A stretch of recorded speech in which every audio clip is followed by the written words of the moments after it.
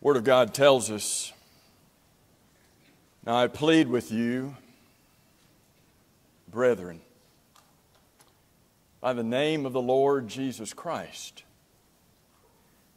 that you all speak the same thing, and that there be no divisions among you, but that you be perfectly joined together in the same mind and in the same judgment. For it's been declared to me concerning you, my brethren, by those of Chloe's household, that there are contentions among you.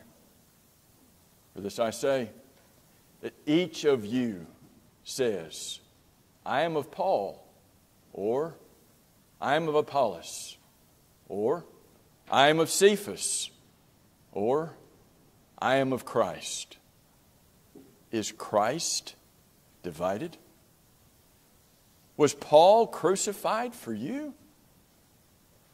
Were you baptized in the name of Paul?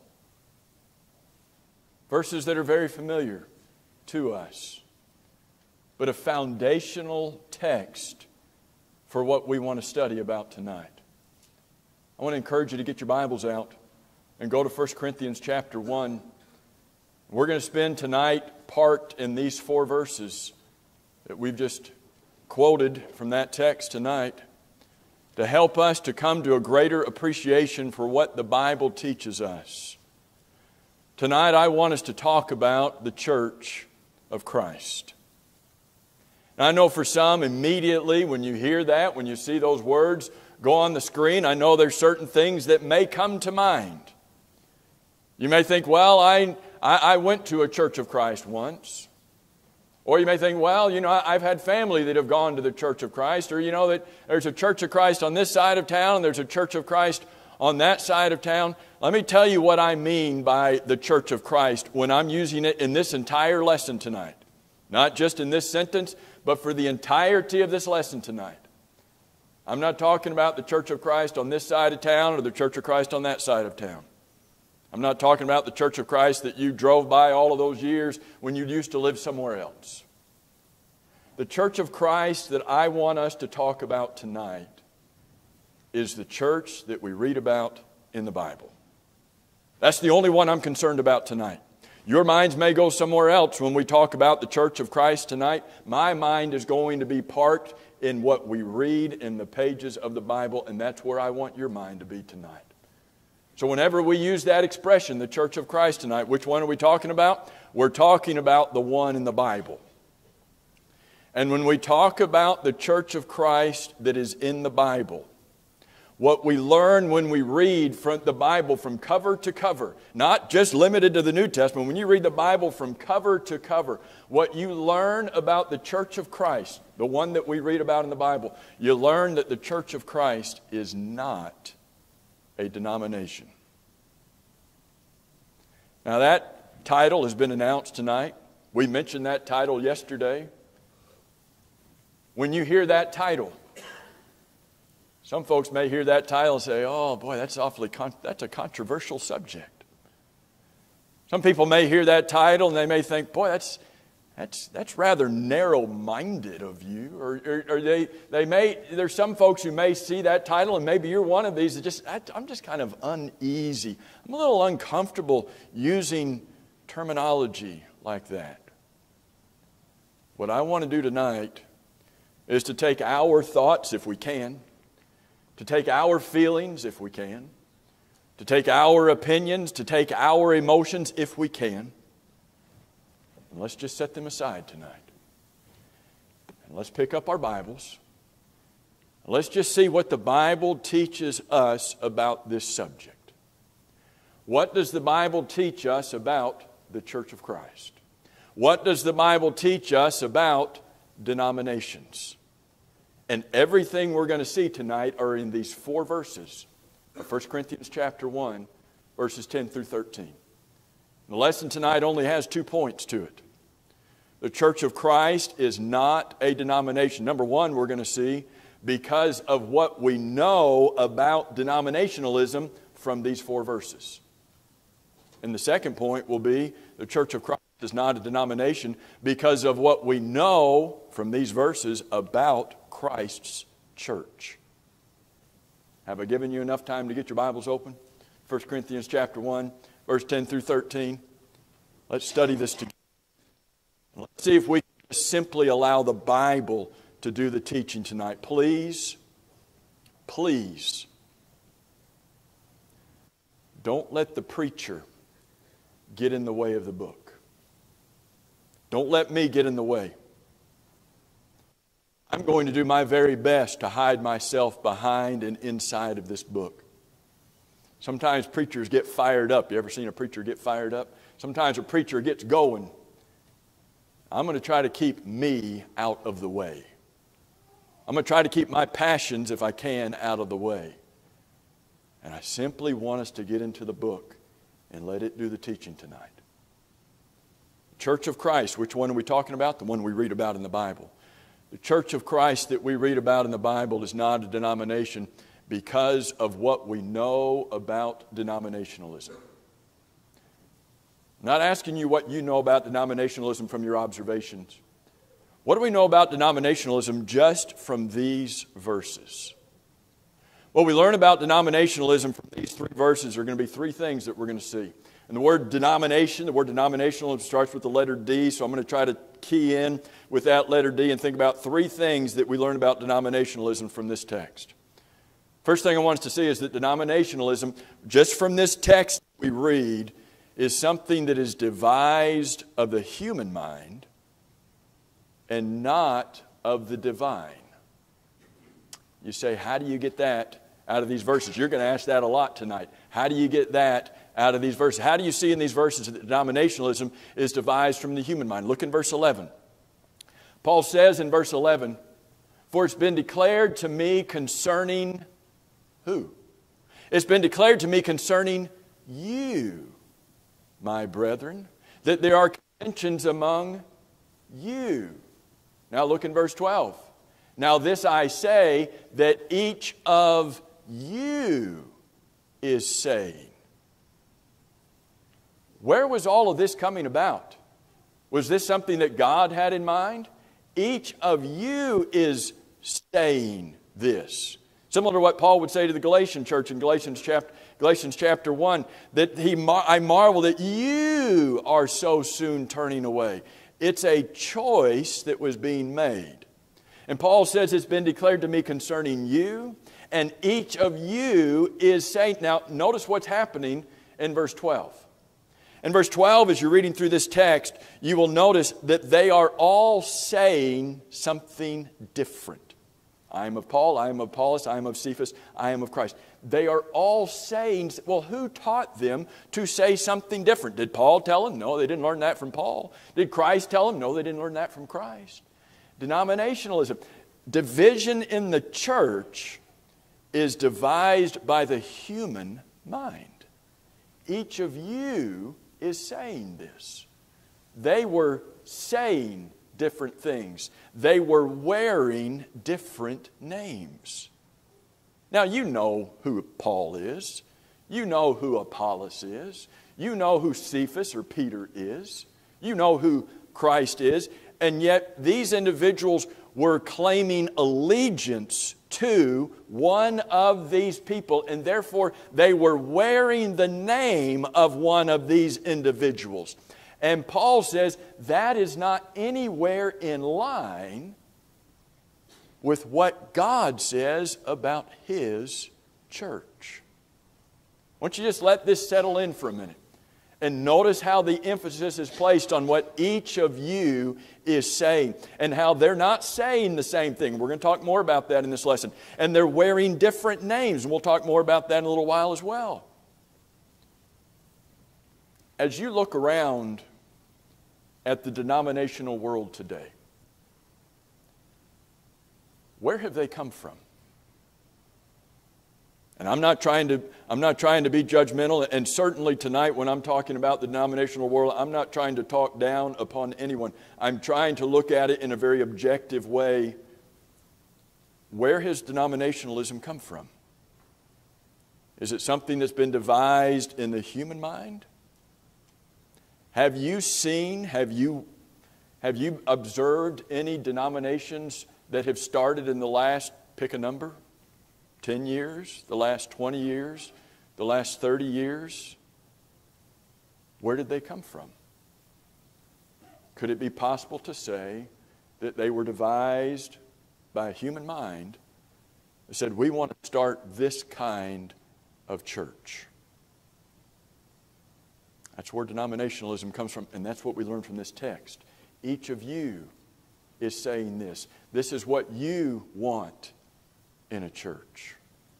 Second thing we see in this text denominationalism is, is not devised in God's mind because it was totally contrary to what Paul is talking about. But the second thing we see about denominationalism is that denominationalism is division and it's division that is not recognized by God. Does it strike you? Does it strike you when you're reading through this, in verse 10 especially, as you're reading through this, that God is pleading? God is pleading that there be no divisions among you. Anytime I have the opportunity to sit down and to study the Bible one on one with somebody, there's certain key passages that we're going to look at, and 1 Corinthians chapter 1 and verse 10 is one of them. And usually I'll get to it in the first study that I have with somebody, but it, it, I'll get there in the first study, but I'll tell them, you know what? Next time we get together, we're going to spend a little bit more time here. Because 1 Corinthians chapter 1 and verse 10 to me is one of those verses that just jumps off the page. And that's what I'll tell somebody if I'm sitting in a study with them. It just jumps off the page at me. Because here's God saying, I plead with you, brethren, by the name of the Lord Jesus Christ, that you all speak the same thing and that there be. How many divisions would be okay with God?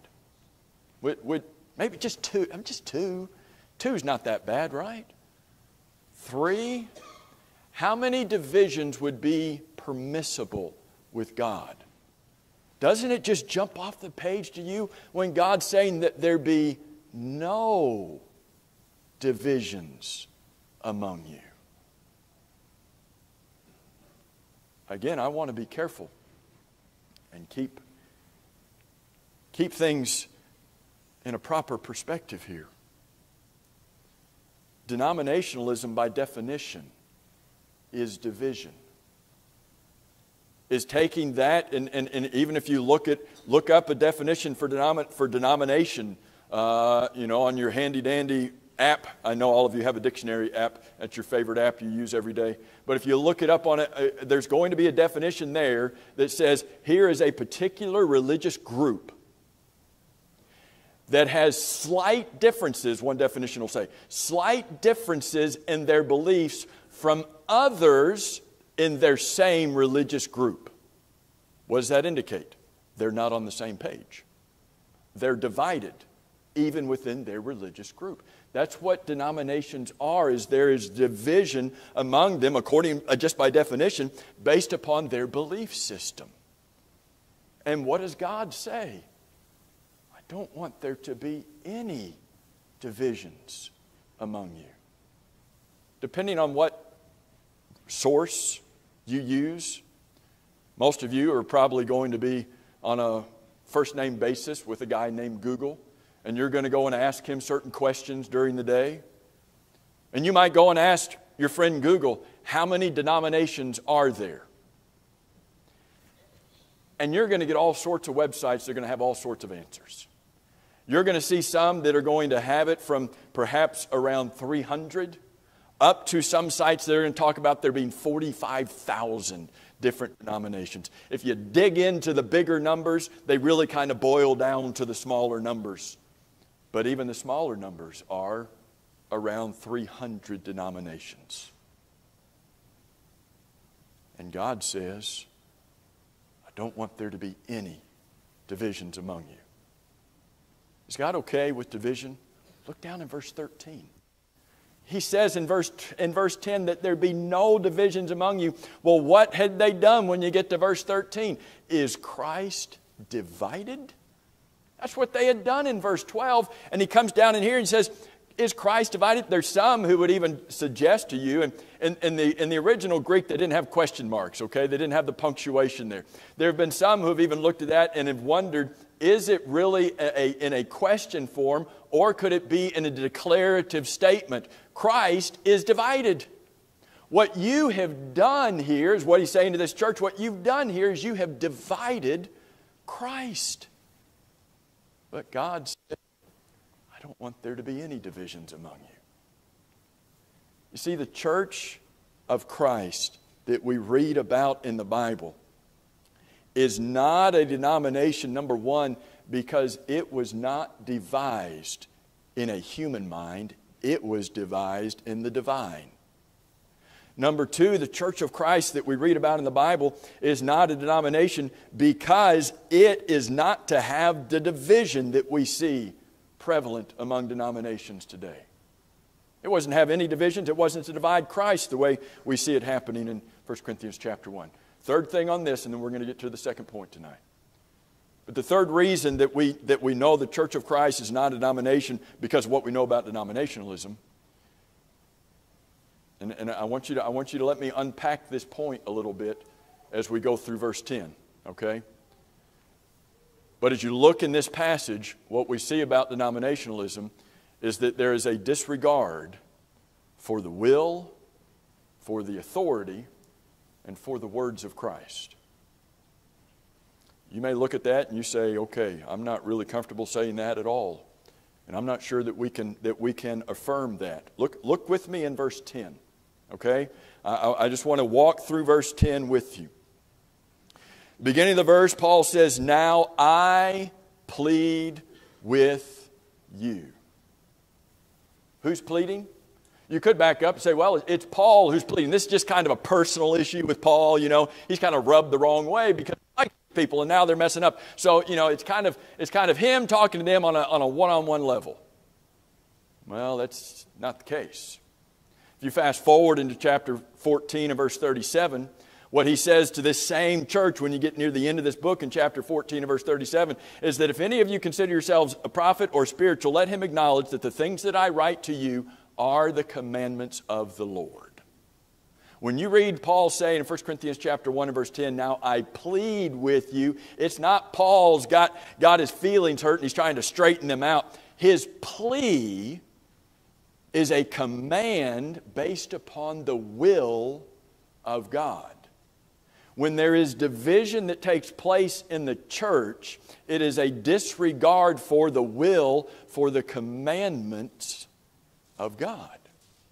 I plead with you. Second thing, what does he say right after that? By the authority of Jesus Christ. You know, you you read that expression all throughout the New Testament by the authority of Jesus Christ. In Acts 2 and verse 38, repent and let everyone be baptized in the name of the Lord Jesus Christ. In Acts chapter 4, you know that, that when uh, Peter and John are put on trial, by what authority have you done these things? This man stands before you whole, they say in verse 10. How so? By the name of the Lord Jesus Christ. You read throughout the New Testament, you read that expression all over the place. Denominationalism doesn't have respect for the authority of Christ, that's the plea that's being made here. Colossians 3 and verse 17 says, Whatever you do, word or in deed, do all in the name of the Lord Jesus Christ. You know Matthew 28 and verse 18, where Jesus says, All authority has been given unto me in heaven and on earth. If Christ has all authority, if we've got to do everything by His authority, whose authority is there that we can base anything else upon? Denominationalism does not have any authority from Christ to divide the way that they've done. Third thing we see in verse 10 is a disregard for the will, for the plead, the pleading of God. It's a disregard for the authority of Christ because that's the plea that's being made here. There's a disregard for the words of Christ. What does he say? I plead with you that you all speak the same thing. We're going to come back and talk more about that in just a minute. But if Paul has to tell them, you all need to speak the same thing, what does that indicate that they were not doing? If you tell your kids, stop fighting with each other, what does that tell me that they were doing before you made that statement? I don't even have to be in the room. And I know that if you told your kids, stop fighting with each other, in, in most sane worlds and in most families, I, I know there's exceptions to that rule, but if you tell your kids, stop fighting, what does that imply? Oh, wait a minute. They were implying before that. If Paul tells them that you speak the same thing, what's going on? You, you don't even have, you go two verses later into verse 12, and here they are. They're not speaking the same thing. There was a lack of respect for the authority of Christ. The verses that are on screen from 1 Timothy, but Paul bookmarks the book of 1 Timothy, and, and he tells Timothy, I, I, I, I, I've sent you to Ephesus, and the reason I wanted you in Ephesus is so that you could charge them not to preach any other doctrine. Don't accept any other doctrine than the doctrine of Christ. That's what Paul's plea is in 1 Corinthians chapter 1 and verse 10. The plea that he's making here and, and you probably already have it written, but you might write next to 1 Corinthians chapter 1 and verse 10, John chapter 17, verse 20 and 21, because it is right in harmony. Jesus is just within hours of dying on the cross. And what's he praying about? It's fascinating to me in, in John chapter 17 that you have this long prayer of Jesus that he prays. Is, is that 26 verses? I've, I have forgotten how many verses are in John chapter 17. 25 or 26 verses as he prays this long prayer. What would be on your mind? 26 verses. What would be on your mind if you're just hours within death? What would you be talking to God about? It's interesting to me as you read through John chapter 17, 26 verse, 26 verse prayer, and he only spends the first five verses praying about him. He spends 21 verses praying about everybody else. I don't know about you, but my prayers are imbalanced on that, on that scale. I mean, here, here's Christ and what's facing him is a crucifixion on the cross, and he only prays five verses about him and 16 or 21 verses about everybody else. What's he concerned about? You get to the end of that prayer in 20, verse 20 and 21 that those who believe in the words that these, apostle preach, pre, these apostles preach, that they may be one. One. Not, not two. Would, would, would a division of two be okay? Maybe a division of three. That's not a lot, right? That they may be one. Tell me what you mean by that, Jesus. Give me an illustration of the unity that you expect there to be within the church, that they may be one as you, Father, are in me and I in you. Is that unity? Is that oneness? That's the unity, that's the oneness that Christ wants in the church. And so when you fast forward all of those years, 1 Corinthians chapter 1, that's what Paul is pleading for in this text. If you just limit yourself to these four verses of 1 Corinthians chapter 1, you will not find any biblical authority. You won't find any biblical approval for denominationalism. What you will find is that the church that we read about in the Bible is not a denomination for these reasons. Let's fast forward. Point number two. The Church of Christ is not a denomination. Not only because of what we learn about denominationalism from these four verses, but because of what we learn about Christ's church from these four verses. So you take what we just saw and now look at it from the vantage point of all right, what do we learn about the church from these four verses? The word church starts with the letter C, so let's, let's start some, some thought concepts here, starting with the letter C. I'm going to give you four of them, and then the lesson's yours. The church that we read about in the Bible, the church of Christ, is the church that commenced by the crucifixion of Jesus. Now, I understand you understand that that church commenced, it was established, it began on the day of Pentecost in Acts chapter 2. But it was it commenced by the crucifixion of Jesus. Well, what does that mean? Well, what does verse 13 say? Where did the church come from? When, when Paul asked that rhetorical question in verse 13, was Paul crucified for you? Why does he ask that question? For a number of reasons. One reason is to point out the fact that it wasn't Paul who was crucified for you, it was Christ who was crucified for you. What's the big deal about that? It's not because of Paul bringing the church into existence.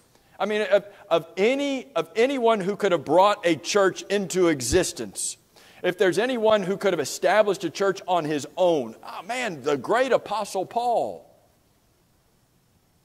The great Apostle Paul did not establish the Apostle Paul's church. What he established was the church that was bought by the blood of Jesus. So when Paul says, Was Paul crucified for you?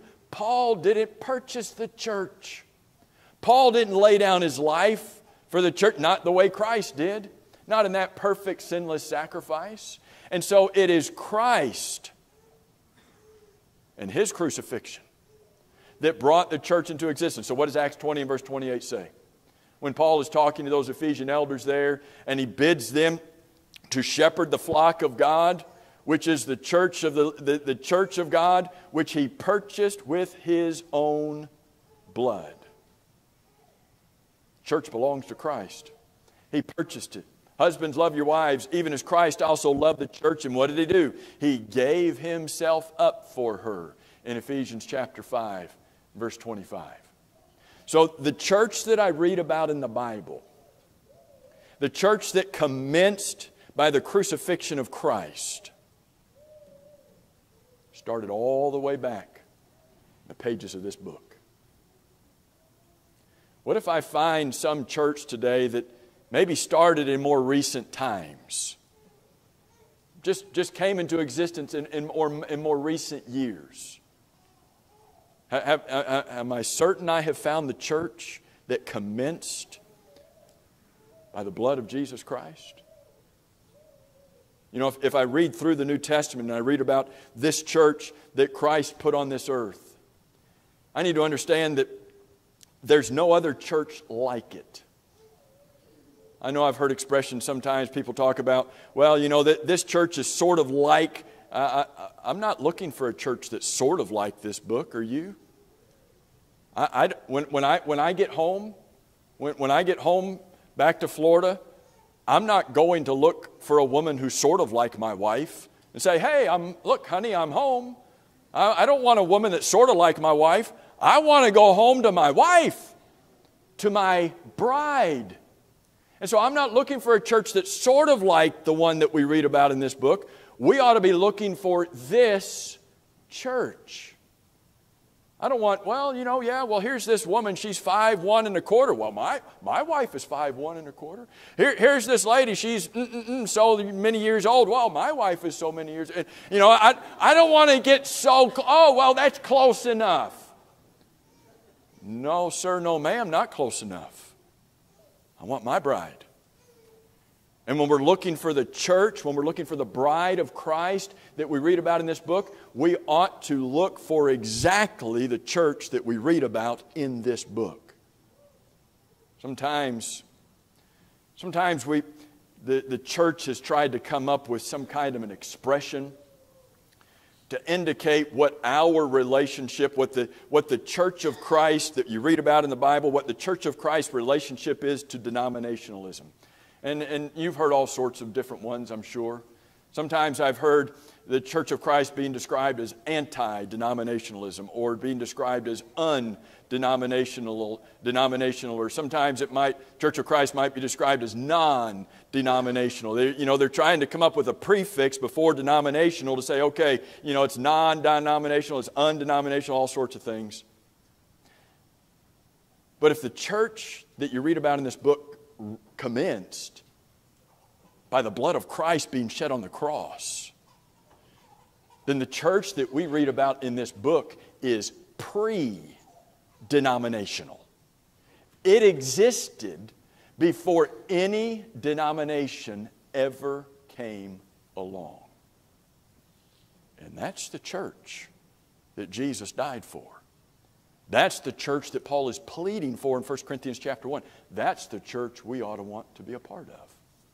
Number two, the church that we read about in the Bible, the church of Christ, not only commenced by the blood of Jesus Christ and his crucifixion, And I want to take what we talked about in denominationalism and take this point, and, and again, I want, I want you to just let, let us walk through verse 10 here.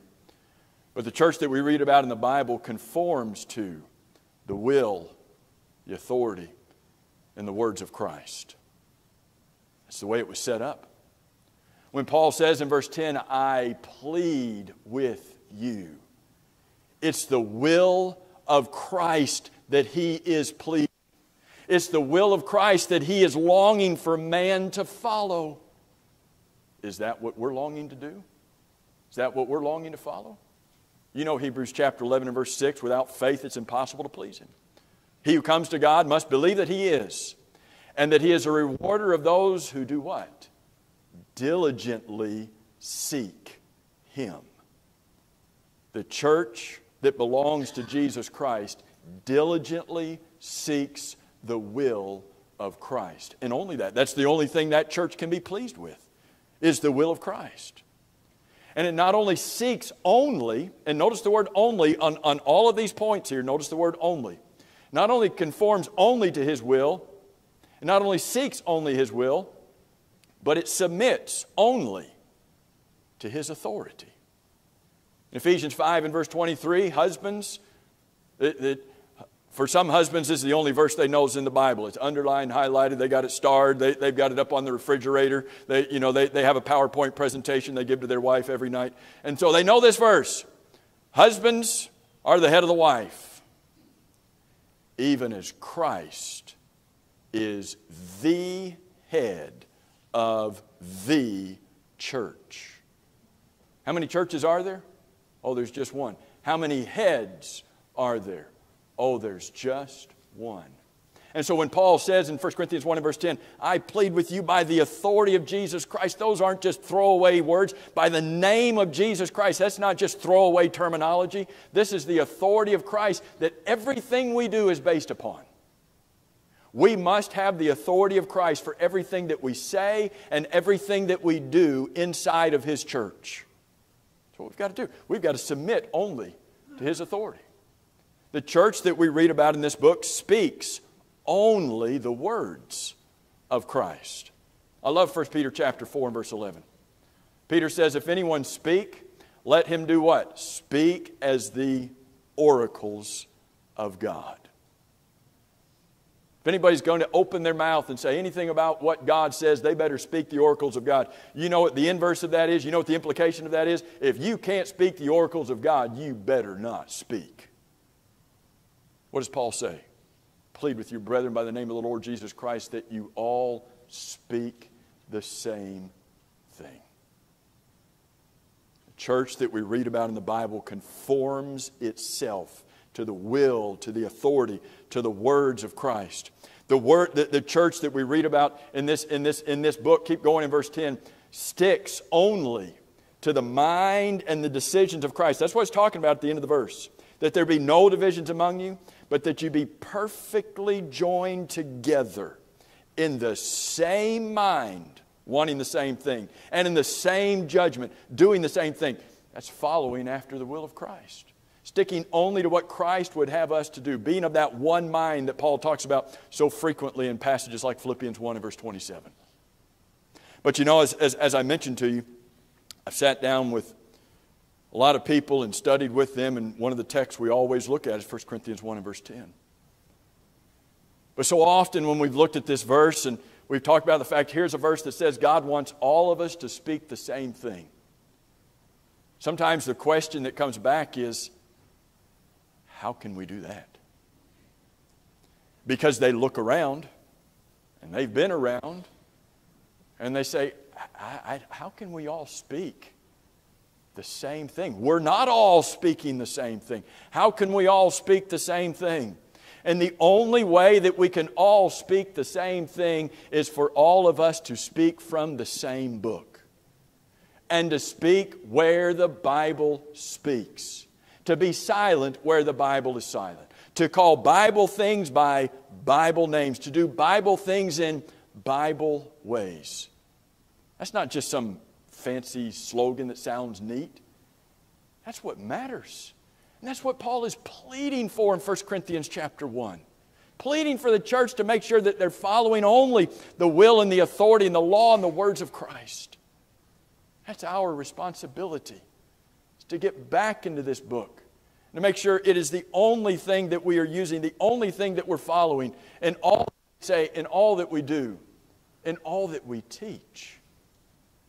Cannot afford to get away from that.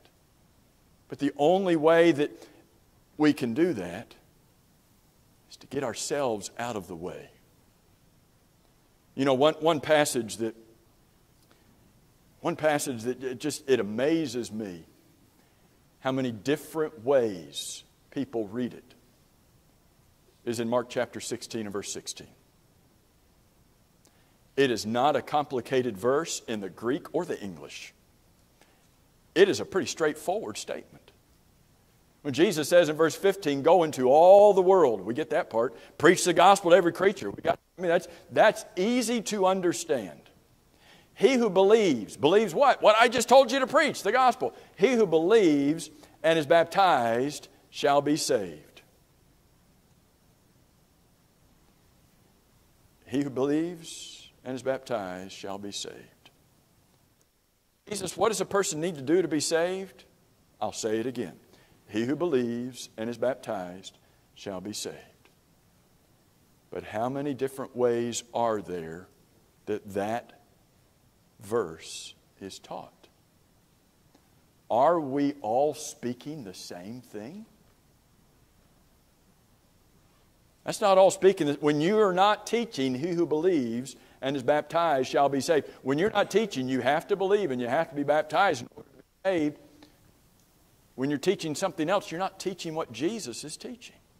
It's not a complicated verse. We, we, use, we use, we understand that phraseology, terminology, language all day long, and we don't argue it.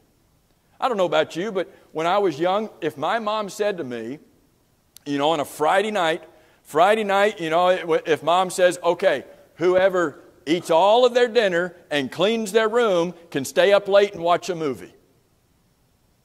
Did you get the two conditions? Whoever eats all of their dinner and, what did I say, uh, cleans their room can stay up late and watch a movie. Mom, I don't really think that I need to clean my room in order to stay up late and watch a movie. That doesn't make any sense. I don't see the connection at all, but I'll, I'll eat my dinner, but, you know, and then I'll just get to late and watch the movie. Would that fly? Not my mom. I don't know about your mom. That's not flying with my mom. Why? Because she just laid out the conditions.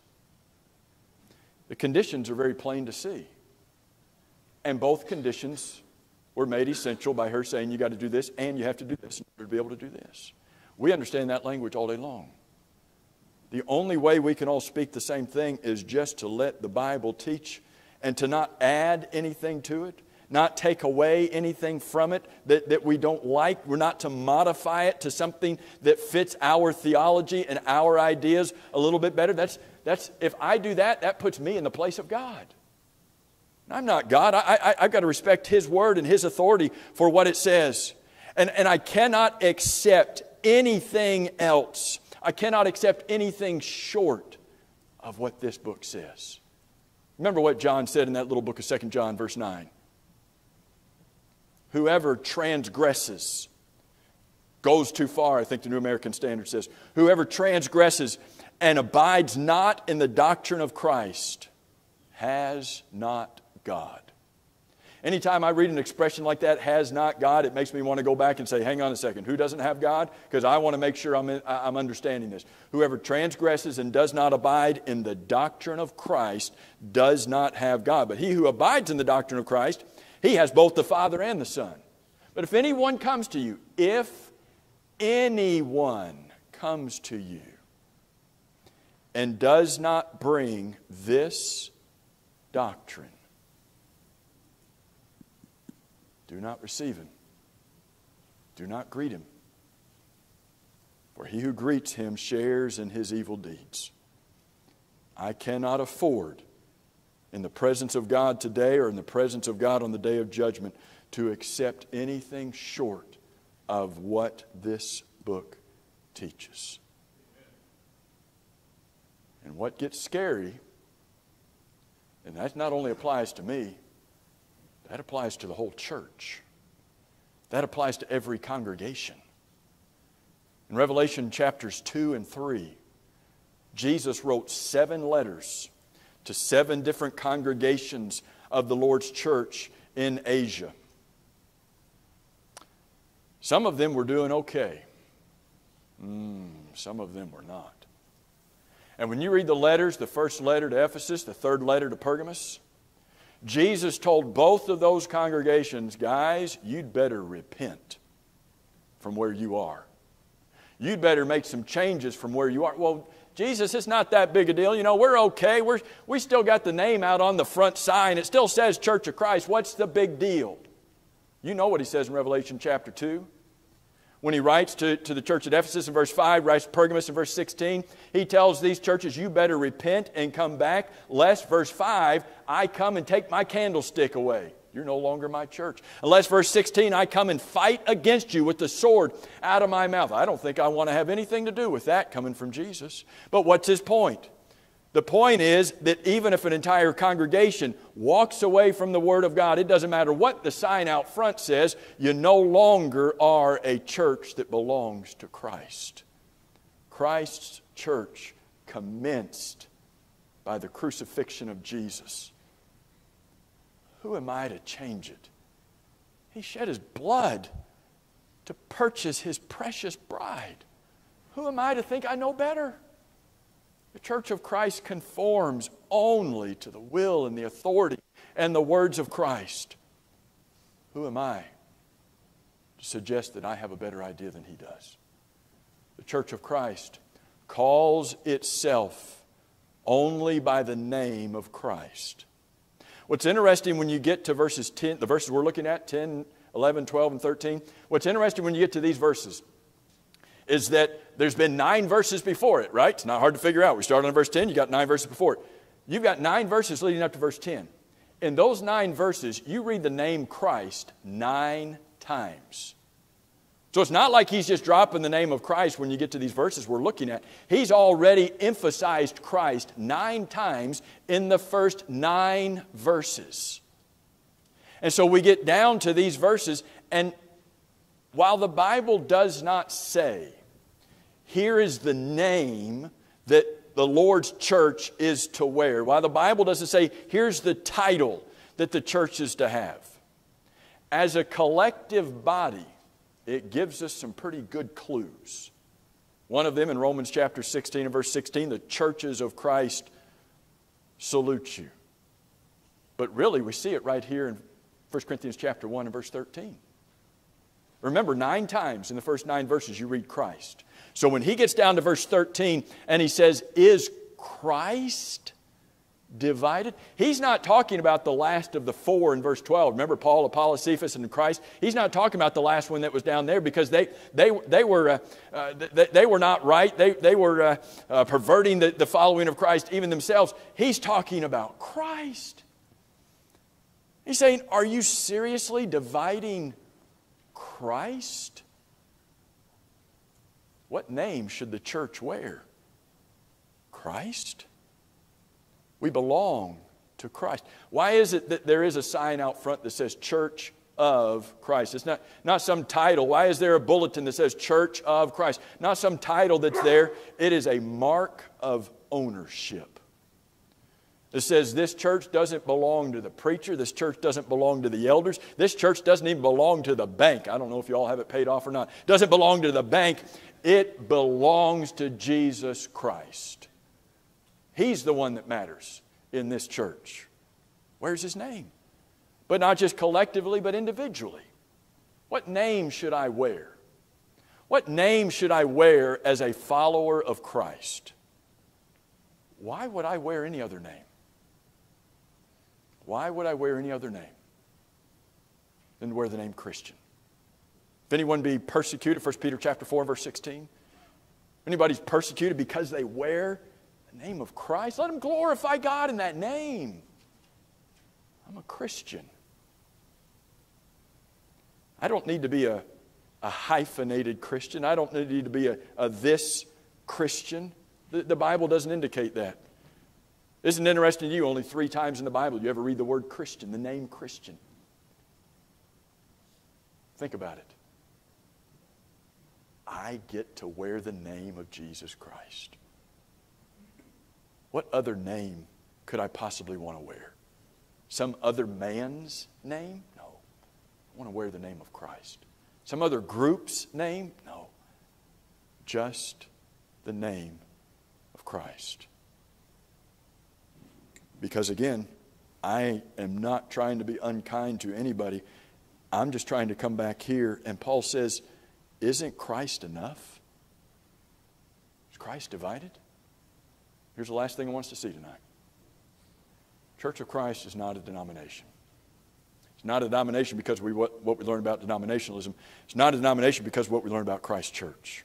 Christ Church commenced crucifixion of Christ. It conforms only to His will. Christ Church calls itself by a name that says, associates it with Christ, says, we belong to Christ. And the church that belongs to Christ clings to the one means of entrance that there is into Christ. There are all sorts of arguments that people have made to try to argue against the essentiality of baptism for salvation. 1 Corinthians chapter 1 and verse 13 is one of those verses that sneaks up on you if you're not looking, that sneaks up on you, and when you actually read it and look at it, it affirms, as strong as any other verse on baptism, it affirms the absolute essentiality of baptism for salvation. Look at what Paul says as he's talking to these individuals who are, who are going away from where they need to be and he's calling them back. Is Christ divided? Here are these individuals who are saying, I am of Paul. And no doubt that just shook Paul to his core. How can you say you're of Paul? Don't say that. Okay, guys, if you're going to legitimately say, I am of Paul, two conditions. Two conditions. If you're going to say, I am of Paul, these two conditions have to be met. Number one, Paul had to have been crucified for you. Did that happen? Rhetorical question. Was Paul crucified for you? And of course, I, I imagine being a first century Christian, they're reading, well, of course he wasn't crucified. Well, condition number one's not met.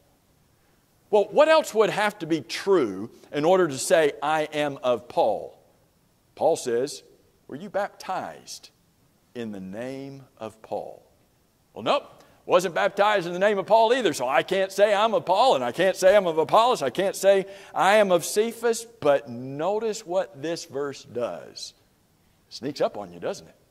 sneaks up on you to say, oh, if those are the two conditions that Paul says would be absolutely essential in order to legitimately say, I am of Paul, then what two conditions would be necessary in order to say, I am of Christ? Same two conditions.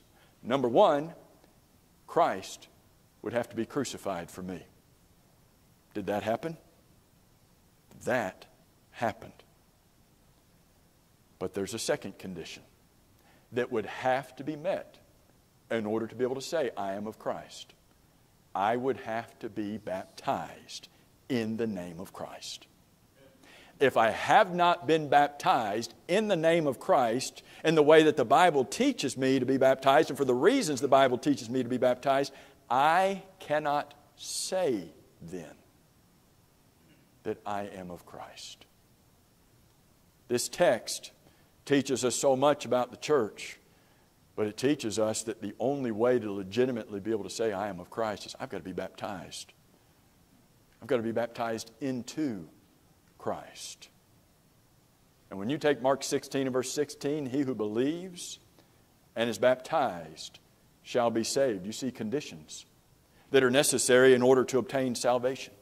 When Peter said in Acts 2 and verse 38, Repent and let every one of you be baptized, by whose authority? In the name of Jesus Christ. Why would I do it? For the remission of my sins. You see conditions that are essential in order to have salvation.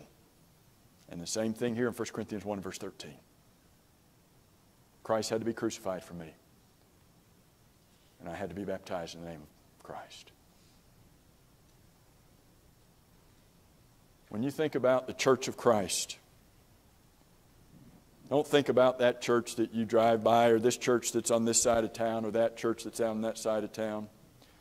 Sometimes people say, Well, I don't want to have anything to do with the church of Christ. They did my mom wrong. They did my sister wrong. They did me wrong. I don't want to have anything to do with the church of Christ. When you think about the church of Christ, would you think about the book, the, the church that we read about in this book? And would you ask yourself the question is the church that I read about in this book, is it a denomination?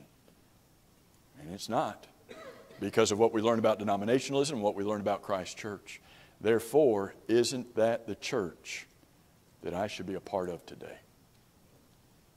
If you're not a part of that church, if you're not a part of the church that you read about in this book, both in prophecy in Daniel 2 and verse 44 and promise in Matthew 16, 18, and 19, it says that church is going to be on this earth forever. It is here today on this earth. And you ought to scavenge through your New Testament and find every identifying mark of that church that belongs to Jesus. And you ought to search out and find that church today that is not looks like, you don't want to find one that's close to it, that is that church and say, that's the church I want to be a part of because that's the one that Jesus died for. How do you become a part of that church? You believe that Jesus is the Son of God. You repent of your sins turn away from wrong in your life, you turn your life in the direction of Christ, you confess the faith that's in your heart, and you are baptized into Christ. So that at that moment, not before, at that moment, the blood of Jesus washes away every one of your sins. At that moment and not before, God adds you to His church, Acts 2 and verse 47. At that moment and not before, God registers your name in heaven, Hebrews 12 and verse 23. And now you're a part of the body of Christ, the one that He purchased with His blood. You're not a part of His church. Why don't you do that tonight? I love those first two songs, Wayne. I love the church. It's that church we read about in the Bible. Are you a part of that church? If you're not, why don't you make it right tonight as together we stand and sing?